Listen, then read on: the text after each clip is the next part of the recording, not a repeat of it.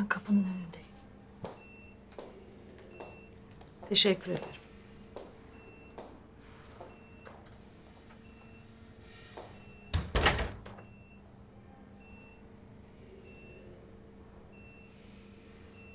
Başınız sağ olsun. Senin de.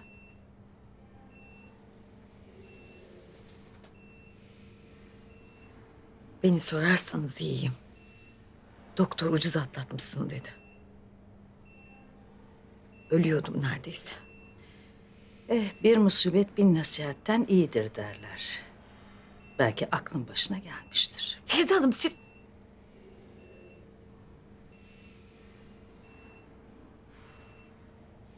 Aslında ikimiz de ne olup bittiğini biliyoruz.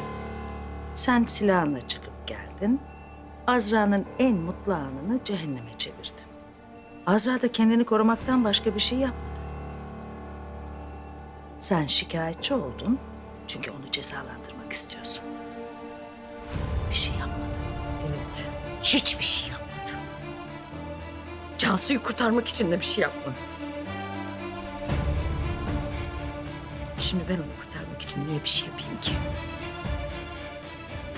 Çünkü doğrusu bu. Sen mutsuz olduğun için Azra'nın mutluluğunu cezalandırmak istiyorsun. Yapma. Azra iki kardeşini, en sevdiklerini kaybetti. Şu an verilebilecek hiçbir ceza onu bundan daha fazla üzemez. O Cenk'i üzer.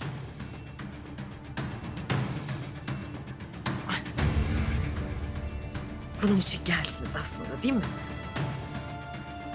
Sevgili torununuz daha fazla üzülmesin diye.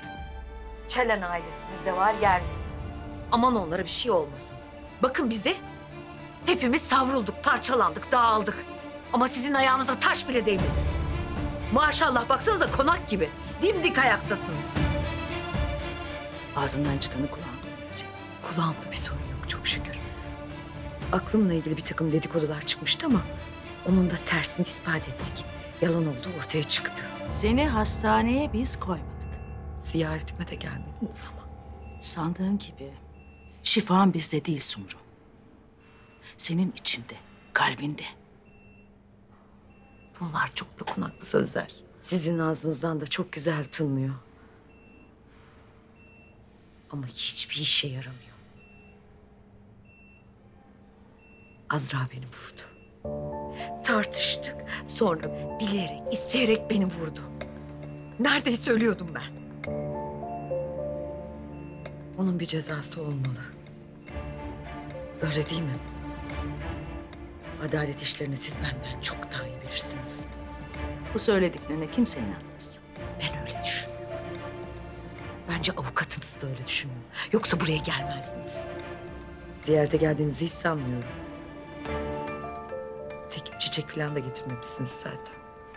Bu öfken sana zarar verecek. Üzülen de sen olacaksın.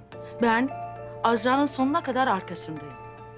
Ve elimden ne geliyorsa yapacağım. Elinizden pek fazla bir şey gelmeyecek. Nitekim beni ikna edemediniz. Tehdit de pek tarzınız değil. Bu konuşmaya son verelim artık. Ağrılarım başladı. Hem zaten sizin de işiniz vardır. Daha Azra'ya cezaevi çantası hazırlanacak değil mi? Güle güle.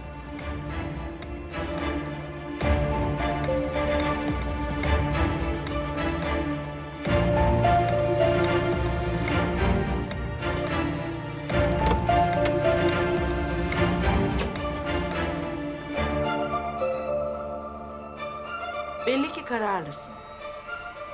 Zehrini akıtıp bu kötülükleri kimsesiz bir kıza yapmaya devam edeceksin.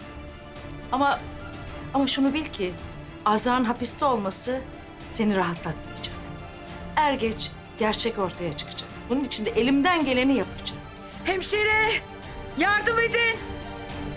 Hemşire! Sumru? Feride Hanım ne oluyor? Çok ağrım var. Allah seni ıslah etsin.